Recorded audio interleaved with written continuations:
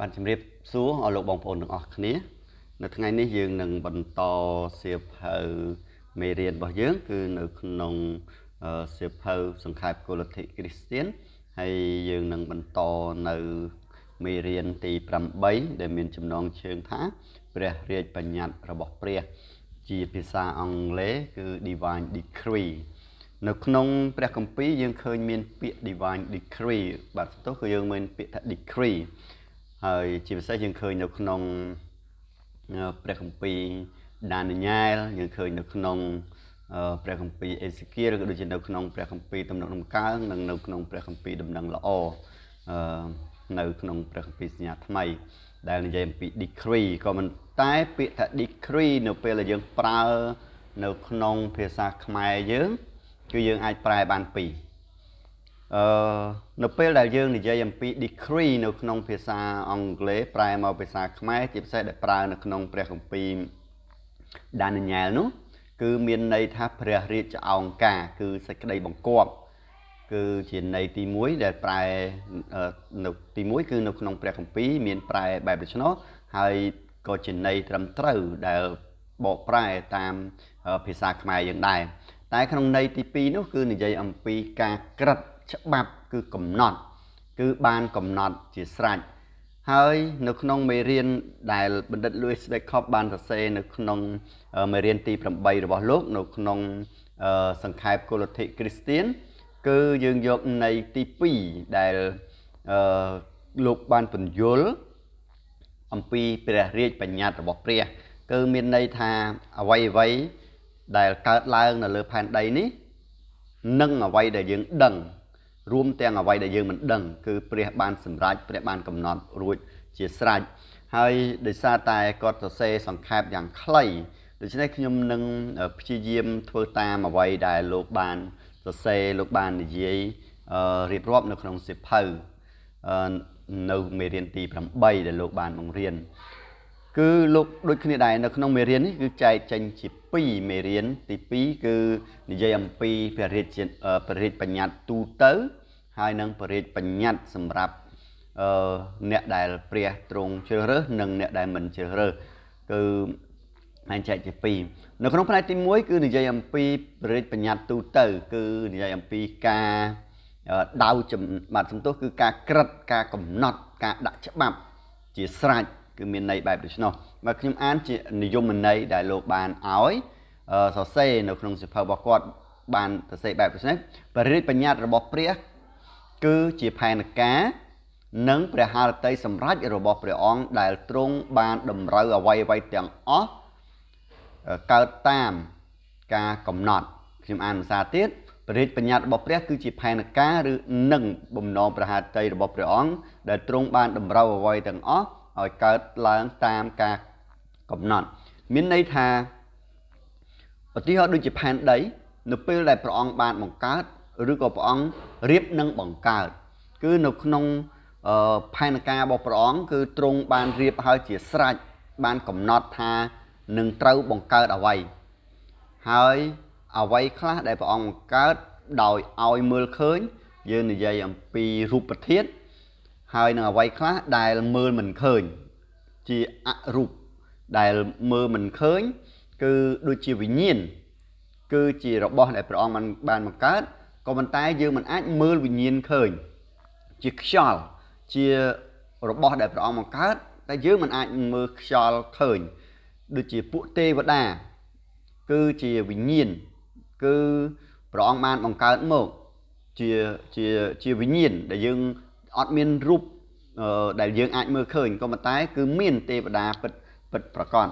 នៅពេលដែលព្រះអង្គបានកំណត់បានសម្រេចបែបដូច្នោះគឺព្រះអង្គបានបង្កើតទៅតាមបំណងប្រហាតីព្រះអង្គទៅតាមរាជបញ្ញត្តិដែលព្រះអង្គបានដាក់ហើយនោះបានកំណត់ហើយនោះគឺព្រះអង្គបានបង្កើតពីអឺមួយម្ដងមួយម្ដង គឺចាប់ផ្ដើមពីមួយមករហូតដល់ចុងបាញ់បញ្ចប់ហើយនៅពេលដែលព្រះអង្គបានបង្កើតតាមព្រះរាជបញ្ញត្តិតាម decree របស់ព្រះអង្គគឺព្រះអង្គបានបង្កើតហើយ គឺព្រះអង្គបានដាក់គោលដៅបានឲ្យដំណើរអ្វីអ្វីដែលព្រះអង្គបានបង្កើតនោះឲ្យទៅដល់ទិសដៅដែលព្រះអង្គបានដាក់កំណត់ដូចជាអ្នករត់ប្រណាំងអញ្ចឹងគឺរត់ឧទាហរណ៍ថាគោលដៅដែលសម្រេចយកឈ្នះយកចាញ់គឺឲ្យដល់អឺឧទាហរណ៍អ្នករត់ប្រណាំង100ម៉ែត្រឧទាហរណ៍អញ្ចឹងចុះដូច្នេះអ្នកដែលរត់ទៅដល់ទិសដៅ100ម៉ែត្រគឺមុនគេ អ្នកនោះហៅថាជាអ្នកដែលដែលឈ្នះ ក៏ប៉ុន្តែបើអត់ទាន់ដល់គោលដៅ100ម៉ែត្រហ្នឹងទេ គឺកំណត់ស្លាក100ម៉ែត្រហ្នឹងទេ គឺគាត់មិនអាចរាប់ថាជាអ្នកដែលទទួលបានជ័យជំនះឡើយនេះខ្ញុំគ្រាន់តែលើកជាឧទាហរណ៍បន្ថែមហេតុដូច្នេះហើយនៅពេលដែលនិយាយអំពីបរិទ្ធបញ្ញត្តិរបស់ព្រះអង្គគឺព្រះអង្គបានដាក់ក្រិតព្រះអង្គបានកំណត់រួចជាស្រេចក្នុងព្រះハរតីផងព្រះអង្គគឺតាំងពីអស់កលរហូតដល់បំផុតកលហើយព្រះអង្គបានមានផែនការនឹងធ្វើសពបែបយ៉ាងឲ្យត្រឹមត្រូវឲ្យសម្រេចទៅតាមផែនការរបស់ព្រះអង្គ ហើយឲ្យរបស់ឲ្យអ្វីដែលព្រះអង្គបានកំណត់នោះគឺវាទៅដល់គឺព្រះអង្គនឹងធ្វើឲ្យបានទៅដល់ព្រះអង្គនឹងដាក់ឲ្យបានទៅដល់ជាការពិតដល់អឺផែនការដល់គោលដៅដែលព្រះអង្គបានកំណត់រួចមកប៉ុន្តែយើងមើលនៅក្នុងបរិទ្ធបញ្ញត្តិរបស់ព្រះអង្គគឺយើងឃើញមានច្រើនរូបភាពច្រើនសន្តានដែលបាននៅដែលយើងដឹងហើយនឹងយើងមិនដឹង ក៏តែយើងយើងមើលនៅក្នុងអវ័យអវ័យដែលដែលបានបង្ហាញនៅក្នុងព្រះបន្ទូលរបស់ព្រះនៅក្នុងព្រះគម្ពីរប៊ីបក៏ដូចជាអវ័យដែលយើងអាចយល់បាន គឺបរិយាបញ្ញត្តិរបស់ព្រះអង្គគឺមិនមែនតែមួយនោះទេ ដែលយើងអាចយល់មិនមែនតែមួយនោះទេ មានន័យថាមិនមែនគ្រាន់តែព្រះអង្គដាក់ថាបង្កើតរួចអ្វីទាំងអស់គឺតាមច្បាប់នឹងដែលព្រះអង្គអត់ខ្វល់ទៀតទេមានន័យបែបដូច្នោះគឺមានន័យថាព្រះអង្គបាន រៀបចំផែនការព្រះអង្គកំណត់ច្បាប់ហើយគឺផែនការច្បាប់ដែលព្រះអង្គបានបង្កើតបានកំណត់ឲ្យដល់គោលដៅនោះគឺមានជាច្រើនទៀតនៅក្នុងហ្នឹងមានជាច្រើនទៀតនៅក្នុងហ្នឹងឥឡូវឧទាហរណ៍ព្រះចង់មានបំណងប្រហាតីជ្រើសរើសឲ្យសង្គ្រោះខ្ញុំមករួចវិបាកដូច្នេះនៅដំណើរនៃការឲ្យសេចក្តីសង្គ្រោះមកដល់ខ្ញុំនោះគឺមិនមែនព្រះអង្គថាអូ ឲ្យបកគលកទទួលបានសេចក្តីសង្គ្រោះរួចដល់ពេលពេលចុងក្រោយគឺឲ្យបានសេចក្តីសង្គ្រោះគឺមិនមែនបែបឆ្នោះទេគឺសេចក្តីសង្គ្រោះគឺ100%អ្វីដែលព្រះអង្គបានកំណត់រួចគឺវានឹងបានកើតឡើងជាពិតហើយវានឹងបានទៅដោយបំណងប្រហាតីផងព្រះអង្គក៏ប៉ុន្តែនៅចន្លោះកណ្ដាលហ្នឹងពីដំណើរកើតពីដំណើរជីវិតនីមួយនីមួយគឺព្រះអង្គបានលំអិតនៅក្នុងហ្នឹងគឺព្រះអង្គបានលំអិតពី1ទៅ1 រហូតដល់នាំឲ្យដល់ទិសដៅដែលជាកំដៅកំណត់ដែលព្រះអង្គបានដាក់នៅ ចំពោះមុខរបស់យើងខ្ញុំអាននៅក្នុងសិភៅដែលគាត់បានសរសេរបណ្ឌិត Louis អឺ Backup បានសរសេរគឺលោកបានសរសេរបែបដូចនេះបញ្ញត្តិរបស់ព្រះរួមមានការបង្កើតលោកីកិច្ចការសង្គ្រោះ មិនតែប៉ុណ្ណោះបញ្ញត្តិនេះគឺមានន័យថាការបង្កើតនិងផែនការសង្គ្រោះមានសកម្មភាពរបស់មនុស្សគឺរួមទាំងសកម្មភាពដូចជាមកឧទាហរណ៍បាញ់មិញអញ្ចឹងគឺរួមទាំងសកម្មភាពយើងកើតហើយយើងធ្វើស្អីស្អីស្អីតាមពីពេលមួយទៅពេលមួយ គឺទាំងអស់កើតឡើងមិនមែនតែចៃដន្យទេគឺព្រះបានតម្រូវបានកំណត់រួចជាស្រេចហើយអនុញ្ញាតឲ្យវាបានកើតឡើង នៅក្នុងជីវិតរបស់យើងរាល់គ្នារួចនឹងកិច្ចការសង្គ្រោះអឺ នឹងមានផែនសំទោសកម្មភាពរបស់មនុស្សនិងអំពើបាបដែរមានន័យថាសូម្បីតែអំពើបាបក៏មិនមែនកើតឡើងដោយចៃដន្យដែរគឺអឺវាកើតឡើងហើយព្រះអង្គព្រះអង្គទ្រង់ជ្រាបហើយព្រះអង្គបានអនុញ្ញាត តែត្រូវចាំព្រះមិនមែនជាអ្នកបង្កើតអំពើបាបទេពីព្រោះព្រះអង្គបង្កើតរបស់ទាំងអស់គឺល្អដូច្នេះបាបគឺព្រះមិនបានបង្កើតទេតែព្រះអង្គអនុញ្ញាតឲ្យវាកើតឡើងអនុញ្ញាតឲ្យវាកើតឡើង នៅពេលនោះគឺយើងនឹងរៀនអំពីបំណងប្រហាតីផងព្រះអង្គទៀតគឺ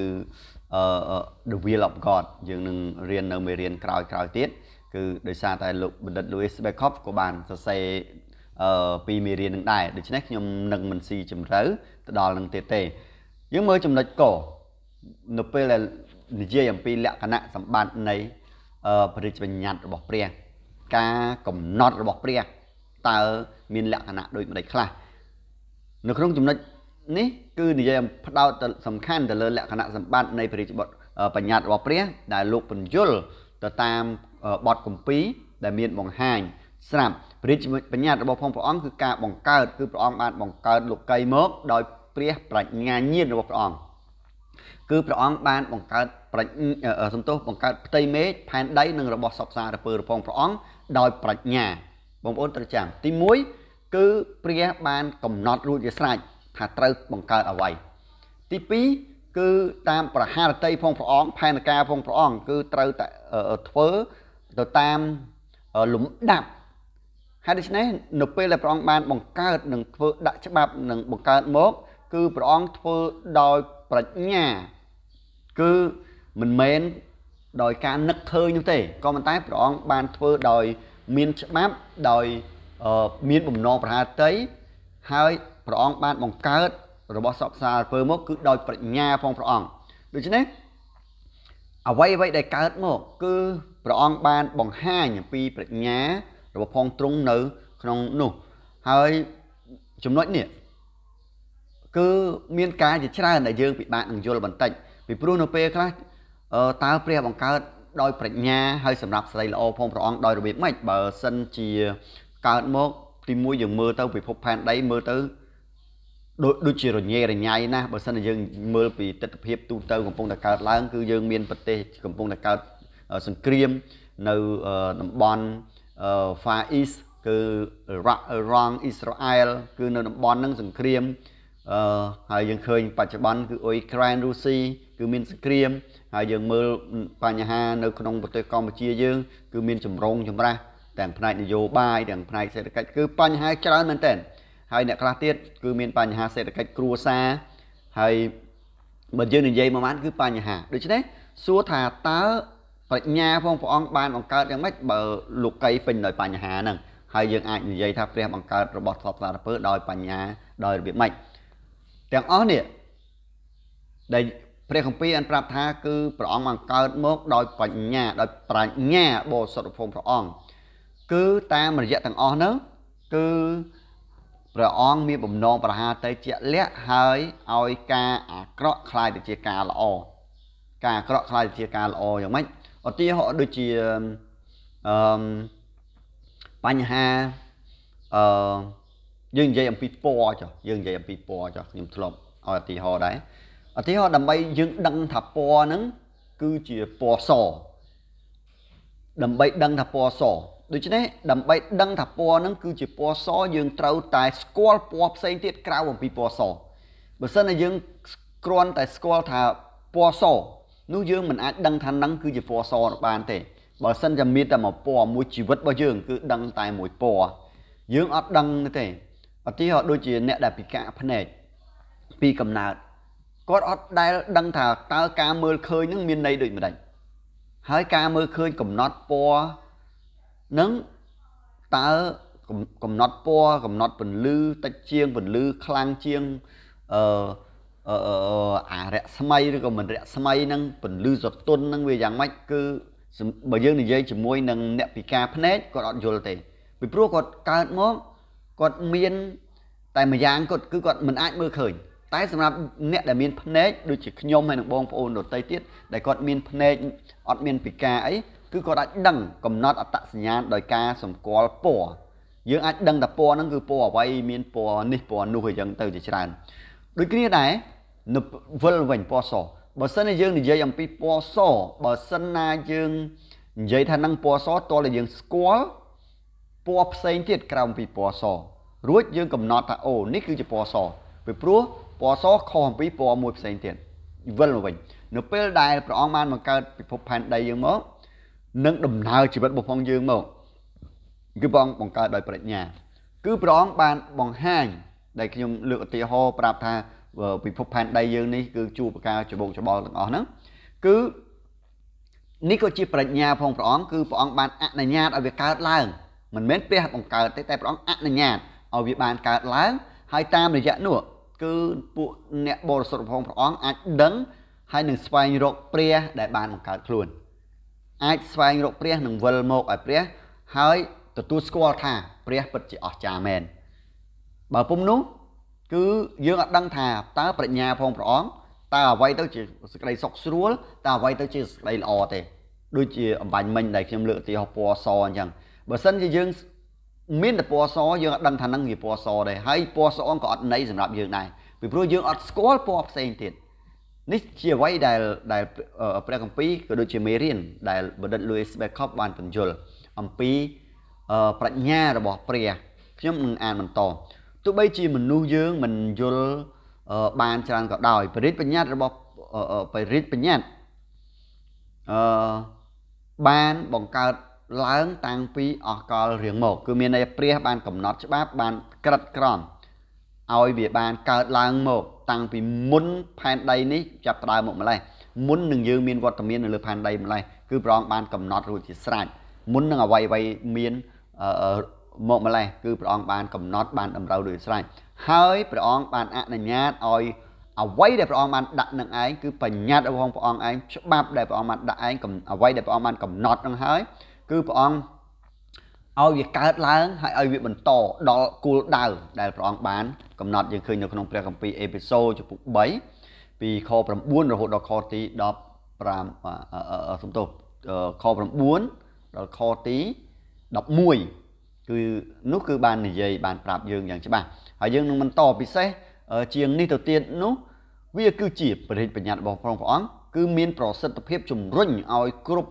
អ្វីអ្វីដែលបានកំណត់នោះបានសម្រេចគឺបានសម្រេចបានគោលដៅមានន័យថាបញ្ញត្តិរបស់ព្រះត្រូវបានសម្រេចតាមផែនការរបស់ព្រះអង្គឥតកែប្រែព្រោះនិស័យព្រះទ្រង់ស្មោះត្រង់ហើយអឺពិតទាំងអស់គឺអ្វីដែលព្រះអង្គបានដាក់ហើយអ្វីដែលព្រះអង្គបានអឺអឺដៅនោះព្រះអង្គនឹងនាំទៅតាមបញ្ញត្តិរបស់ព្រះអង្គហើយព្រះអង្គនឹងធ្វើឲ្យបានសម្រេច ហេតុអីនេះជាលក្ខណៈរបស់ព្រះគឺព្រះអង្គអត់កែប្រែអ្វីដែលព្រះអង្គទ្រង់មានបន្ទូលអ្វីដែលព្រះអង្គបានកំណត់ហើយគឺវានឹងត្រូវកើតឡើងតាមការកំណត់តាមការសម្រេចតាមផែនការរបស់ព្រះអង្គពីព្រោះព្រះទ្រង់មិនប្រះផ្លាស់ប្រែទោះបីជាមានរឿងអីកើតឡើងក៏ដោយ តែផែនការផងព្រះអង្គនឹងសម្រេចព្រះបញ្ញត្តិរបស់ព្រះមិនមានលក្ខណៈអឺមិនមានលក្ខណៈអ្វី ទាំងអស់អឺលក្ខខណ្ឌបាទសំទោសมันមានលក្ខខណ្ឌអ្វីទាំងអស់គឺអត់មានថាដើម្បីទទួលបានចេះគឺខ្ញុំត្រូវតែធ្វើអញ្ចេះនោះទេដើម្បីរត់ទៅដល់គោលដៅខ្ញុំត្រូវតែខំប្រឹងខ្ញុំត្រូវតែពុតលុតដំដើម្បីទៅទៅដល់ការកំណត់គឺខុសអំពីកីឡាអញ្ចឹងបរិជ្ជបញ្ញត្តិផងព្រះអង្គគឺជាកិច្ចការរបស់ព្រះដែលព្រះទ្រង់ធ្វើហើយព្រះអង្គបានដាក់ឲ្យបានដល់កំណត់ នៅក្នុងចំណងចំណុចទី2គឺ ទី1ខគឺមានមានការជំទាស់មានការជំទាស់ដែលយើងនិយាយអំបញ្ញមិញអ្វីដែលព្រះបានដៅអ្វីដែលព្រះអង្គបានកំណត់ហើយគឺវានឹងកើតឡើងដូច្នេះអឺមានអ្នកខ្លះគាត់បានជំទាស់មិនគាត់មិនយល់ស្របពីអឺ divine decree ពីអ្វីដែលព្រះបានដាក់បានដៅបានកំណត់នោះគឺអត់ពេញចិត្តតើអត់ពេញចិត្តយ៉ាងម៉េច គឺគេលើកឡើងមានហេតុផល3យ៉ាងសម្រាប់ជំទាស់ទៅនឹង divine decree ដែលព្រះបានកំណត់ដែលព្រះបានដាក់ទី1បើសិនជាព្រះបានកំណត់អ្វីៗទាំងអស់ឲ្យបានកើតឡើងដូច្នេះគេគេគិតថានេះចំណុចទី1គេគិតថាវានឹងធ្វើឲ្យប៉ះពាល់ការសម្រេចចិត្តរបស់មនុស្សគឺបើសិនជាព្រះទ្រង់បានកំណត់រួចជាស្រេចហើយ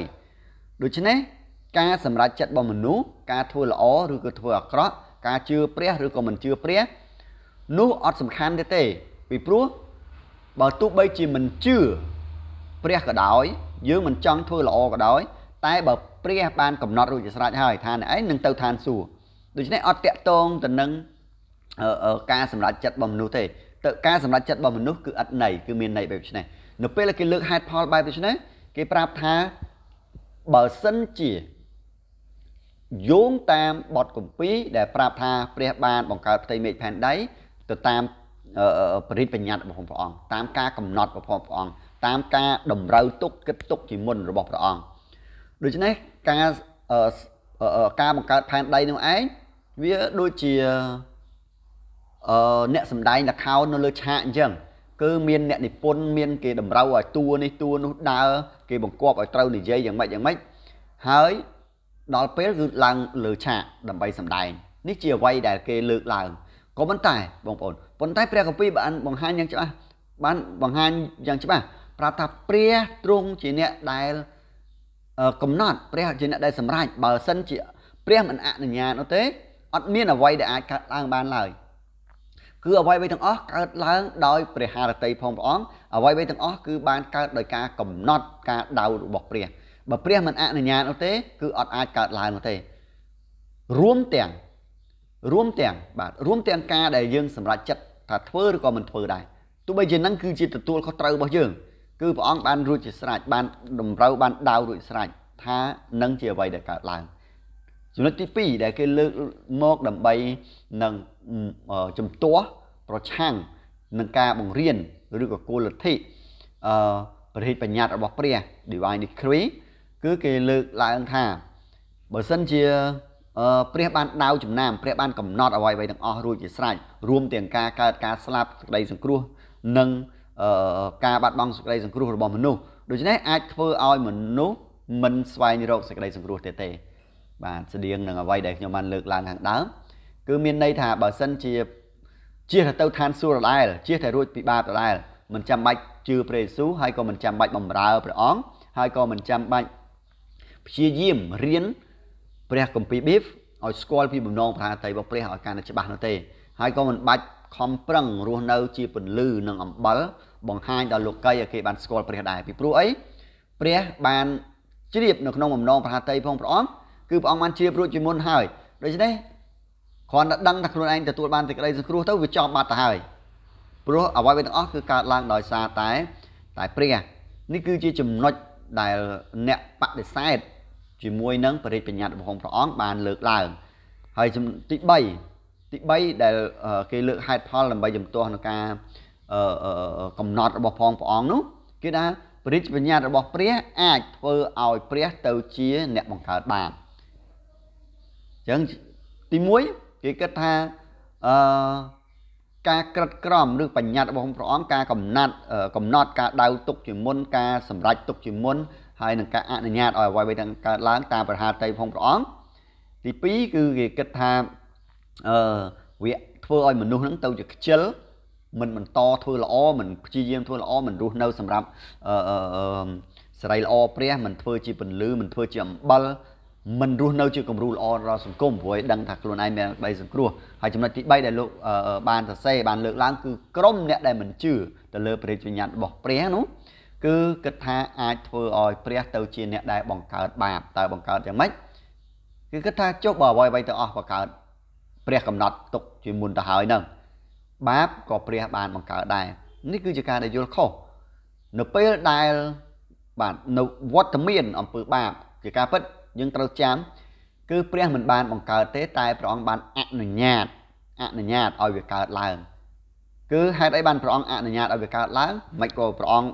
មានគ្រប់ទាំងអំណាចចេស្តាឲ្យព្រះអង្គមិនការពារព្រះអង្គមិនខាំងព្រះអង្គមិនបំផ្លាញវត្តមានអំពើបាបឲ្យចេញពីផែនដីទៅមិនបានជាអនុញ្ញាតឲ្យបាបនឹងមកប៉ះមករីរាំងមកបង្កើតអចលាចលអសន្តិសុខបង្កើតនៅសេចក្តីដែលមិនល្អនៅក្នុងស្នាប្រហោផងព្រះអង្គបែបដូច្នោះមិនក៏ព្រះអង្គមិនព្រមហាមឬក៏បំផ្លាញបាបចោលទៅ កន្លែងនេះដែលយើងនៅតាក់ទងទៅលើបរិយាបញ្ញត្តិរបស់ព្រះអង្គនេះជាបំណងព្រះハតីរបស់ព្រះដែលព្រះបានអនុញ្ញាតបើសិនជាវិលទៅវិញដូចជាខ្ញុំឲ្យឧទាហរណ៍បាញ់មិញអញ្ចឹងបើសិនតែមានមួយពណ៌មានតែមួយពណ៌យើងអត់ដឹងថា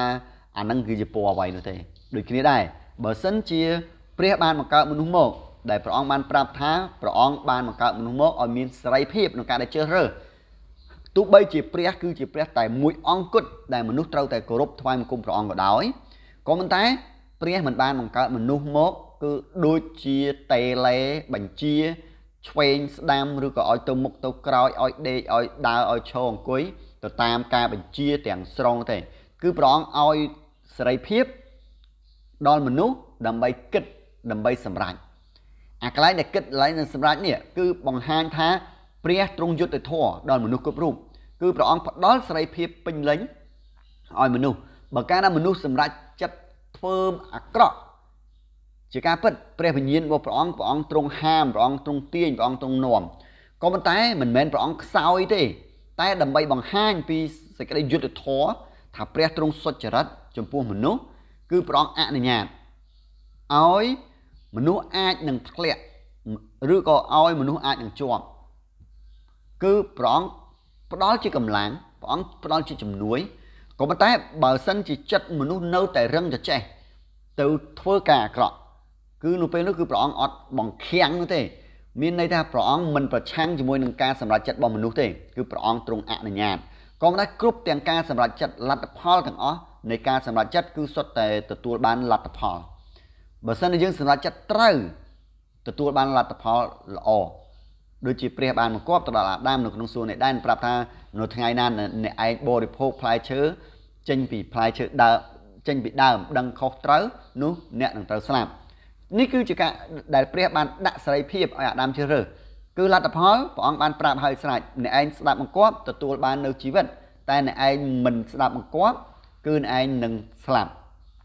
ដូច្នេះព្រះអង្គអត់ហាមទេព្រះអង្គបានដាក់ហើយព្រះអង្គបានប្រាប់ពីលទ្ធផល ដូចគ្នាដែរវត្តមាននៃអំពើបាបវត្តមានអាក្រក់ដែលកើតឡើងលើផែនដីនេះមិនមែនមានន័យថាព្រះអង្គទ្រង់បង្កើតទេ តែព្រះអង្គអនុញ្ញាតអនុញ្ញាតឲ្យបាបអាចនឹងកើតឡើង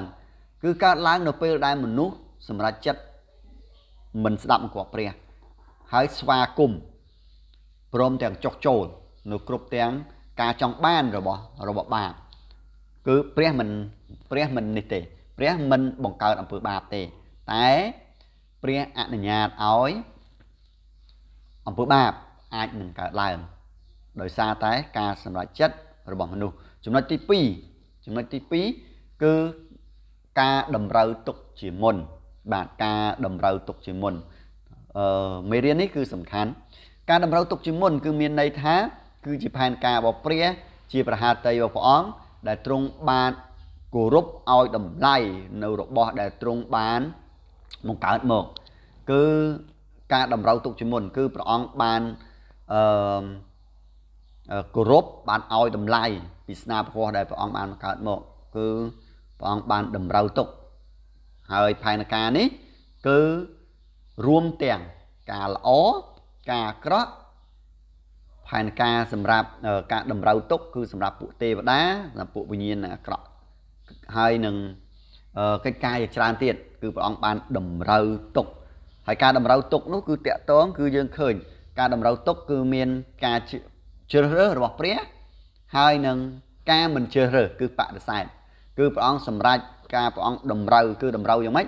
តម្រូវឲ្យមនុស្សខ្លះទទួលបានជីវិតអស់កលជានិច្ចហើយតម្រូវឲ្យមនុស្សខ្លះទៀតមិនទទួលបាននៅជីវិតកន្លែងហ្នឹងគឺតែងតែមានសំណួរសួរតាំងពីដើមរហូតមកដល់បច្ចុប្បន្ននេះ គឺតកតងទៅលើការជ្រើសរើសគឺការតម្រូវទុកជាមុននោះឯងដែល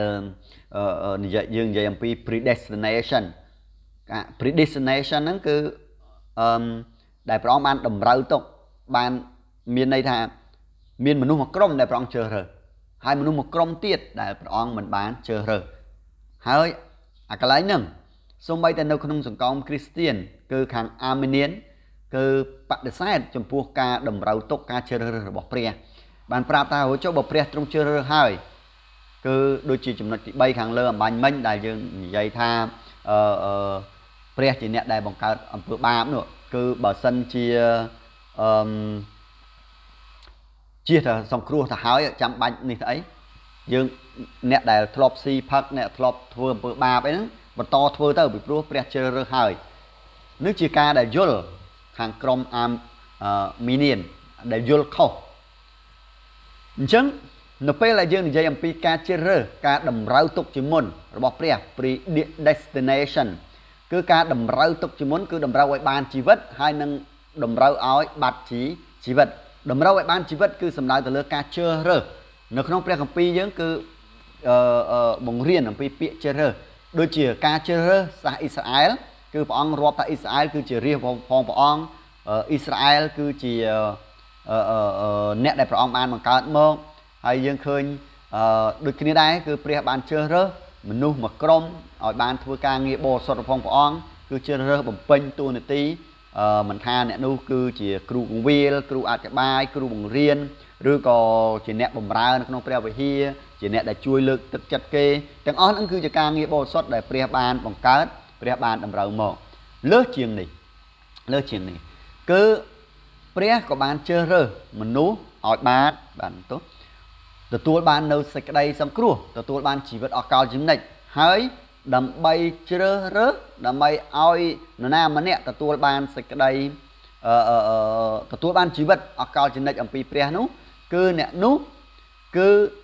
ត្រូវតែមកក្នុងអង្គព្រះយេស៊ូវគ្រីស្ទ គឺសេចក្តីសង្គ្រោះគឺមានតែនៅក្នុងអង្គព្រះយេស៊ូវគ្រីស្ទតែមួយអង្គគត់ខ្ញុំបើកវងកញ្ចក់បន្តិចកន្លែងនេះបើកាលណានិយាយថាសេចក្តីសង្គ្រោះគឺមានតែនៅក្នុងអង្គព្រះយេស៊ូវគ្រីស្ទតែមួយអង្គគត់ការជ្រើសរើសទទួលបានជីវិតអកលចនិចគឺមានតែនៅក្នុងអង្គព្រះយេស៊ូវគ្រីស្ទរួចចុះចំនួនអាដាមចំនួនកាអ៊ីនចំនួនម៉ូសេហើយយើងមកដល់យ៉ាកុបសំទោសគឺដល់យូសែប យើងមកដល់ប្របាទដាវីតរហូតដល់អ្នកចុងក្រោយបំផុតដែលអង្គព្រះយេស៊ូវគ្រីស្ទអត់ទាន់បានយាងមកអ្នកដែលនៅចុងក្រោយបំផុតដែលព្រះយេស៊ូវគ្រីស្ទអត់ទាន់យាងមកដែលគេអត់ឮអត់ស្គាល់នាមព្រះយេស៊ូវគ្រីស្ទផងតើគេអាចទទួលបានសេចក្តីសង្គ្រោះយ៉ាងម៉េចពីព្រោះជីវិតហើយអ្នកដែលទទួលបានជីវិតនោះឯងគឺមានតែនៅក្នុងអង្គព្រះយេស៊ូវគ្រីស្ទគឺនៅក្នុងទ្រង់មានជីវិតក្រៅទ្រង់អត់ជីវិតដូច្នេះ បើព្រះយេស៊ូវគ្រីស្ទអត់ទាន់មានវត្តមានផងហើយគេអត់ឮពីពនាមព្រះយេស៊ូវគ្រីស្ទផងតើគេអាចនឹងទទួលបានជីវិតដោយរបៀបម៉េចប្រហែលជាបងប្អូនគិតថាកន្លែងហ្នឹងខ្ញុំអត់អាចទទួលយកបានទេ ជាការពិតនេះគឺអ្វីដែលព្រះគម្ពីរបានបង្រៀនយើងឃើញបងប្អូនចាំអំពីការបើកបង្ហាញបើកសម្ដែងពិសេសនៅក្នុងព្រះគម្ពីរទោះបីជា បានប្រាប់ថាព្រះព្រះយេស៊ូវគ្រីស្ទមិនទាន់មានព្រះវត្តមានយាងមកលើផែនដីមកយកនិស័យជាមនុស្សក៏ដោយ ក៏ប៉ុន្តែព្រះអង្គគឺជាព្រះដែលគង់នៅ តាំងពីអស់កលដល់បំផុតកលទោះបីជាព្រះអង្គមិនទាន់បានយកនិស័យសាច់ឈាមយករូបអង្គជាមនុស្សក៏តែព្រះអង្គគឺជាព្រះរួចស្រេចគ្រាន់តែនាមដែលហៅចំដល់ពនាមព្រះអង្គអង្គបកគលដែលត្រូវយើងមកពិតប្រកបគឺអត់ទាន់មក គឺមកបង្ហាញជារូបឆ្លុះជាជាស្រមោលដែលយើងនិយាយថាជាស្រមោលដូចជាយ៉ាកុបនិយាយថាដូចជាមើលនឹងកញ្ចក់ គឺមើលឃើញគ្រាន់តែជាចំណាំងផ្លាតតែប៉ុណ្ណោះដែលឈរពីមុខទៅយើងអាចមើលឃើញថារូបរាងរបស់យើងនៅពីមុខយ៉ាងម៉េចចំពោះអង្គព្រះយេស៊ូវគ្រីស្ទដែលព្រះអង្គប្រាប់ព្រះគម្ពីរប្រាប់ថាហើយគោលលទ្ធិនៃការជ្រើសរើសបានប្រាប់ថាសេចក្តីសង្គ្រោះគឺមានតែនៅក្នុងអង្គព្រះយេស៊ូវគ្រីស្ទតែមួយអង្គគត់នោះចង់ប្រាប់យើងថាគឺ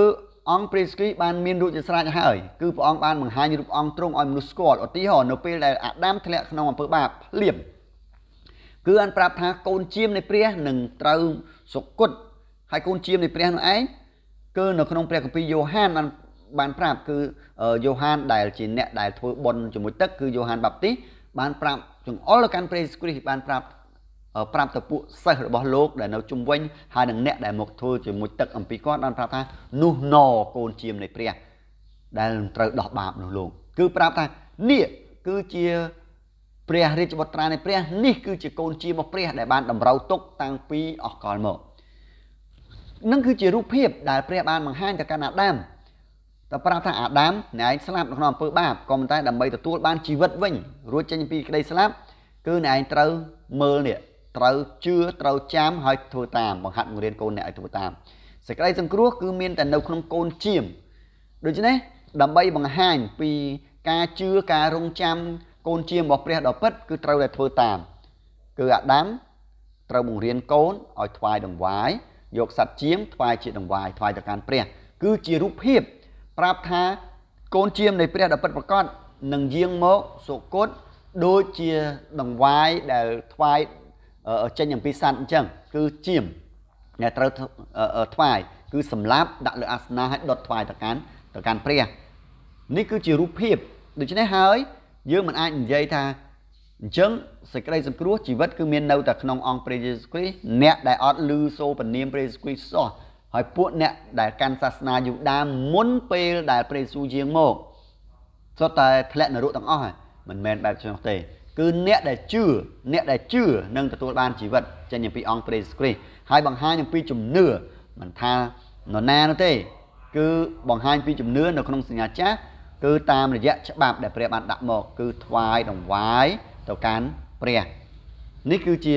ចំណុចសំខាន់ដែលយើងដឹងទទួលបានជីវិតគឺមានតែនៅក្នុងអង្គព្រះយេស៊ូវគ្រីស្ទតែមួយអង្គគត់ដូច្នេះសួរថាតើនរណាគេខ្លះទទួលបានជីវិតនរណាគេខ្លះទទួលបានសេចក្តីសង្គ្រោះគឺមានតែអ្នកជឿគត់មិន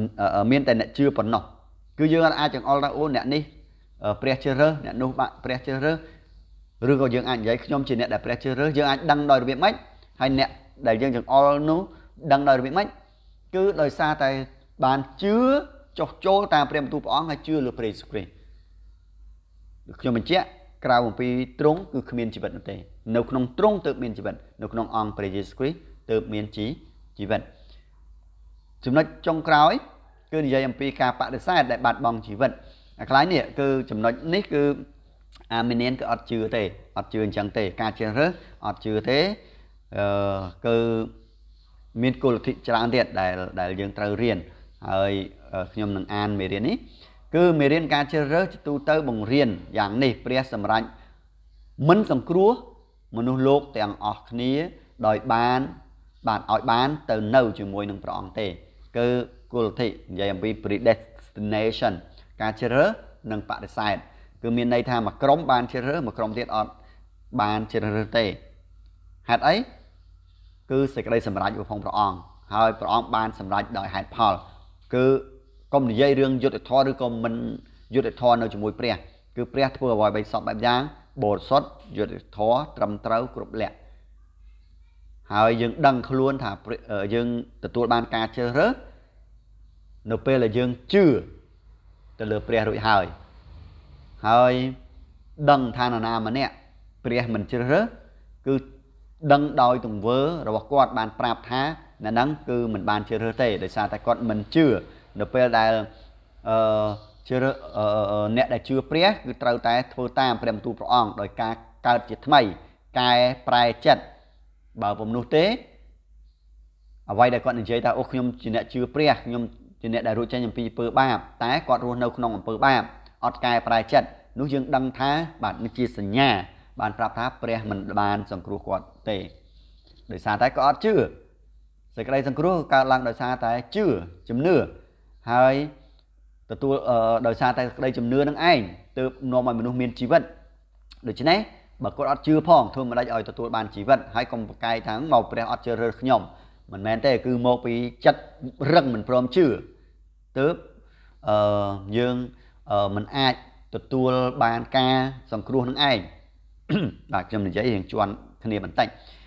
បាទយើងវិលមកវិញសង្ខេបមនុស្សយើងច្រើនដែលយល់ដែលយល់ថាការតម្រូវទុកជាមុនរបស់ព្រះ គឺការកំណត់ការតម្រូវទុកជាព្រះគឺមហាញអំពីអសុចរិតភាពគឺនិយាយបាននិយាយថាព្រះអត់អត់សុចរិតទេ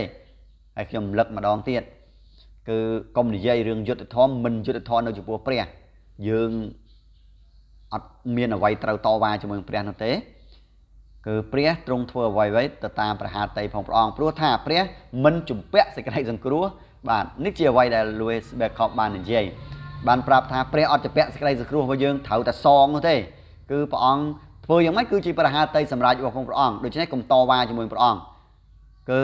អ្នកដែលទទួលបានសេចក្តីសង្គ្រោះគឺព្រះបានជឿរើអ្នកហ្នឹងអរគុណព្រះអង្គ ដោយសារតែដោយប្រគុណគឺយើងអត់ស័កសមគឺព្រះអង្គបានសង្គ្រោះគេហើយអ្នកដតីផ្សេងទៀតដែលព្រះមិនបានជ្រើសរើសគេក៏ជាអឺ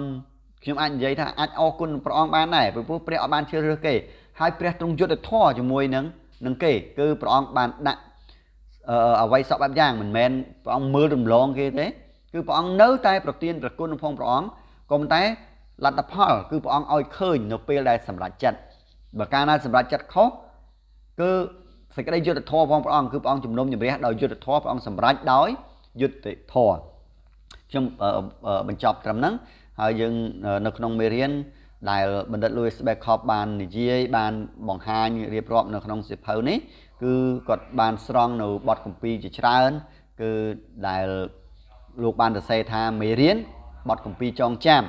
គឺមានបទកម្ពីសម្រាប់ចងចាំមានអឺមេរៀនសម្រាប់សិក្សា គឺតាមបទកម្ពីមានបទកម្ពីមករួចមានសំណួរដើម្បីពិភាក្សាហើយជាមួយគ្នាដែរគឺមានសំណួររំលឹកមេរៀននៅក្នុងមេរៀនទី8នេះគឺមាន12សំណួរឧទាហរណ៍ដូចជាសំណួរទី1សួរថាតើព្រះតម្រូវទុកជាមុននឹងការតែងតាំងទុកជាមុន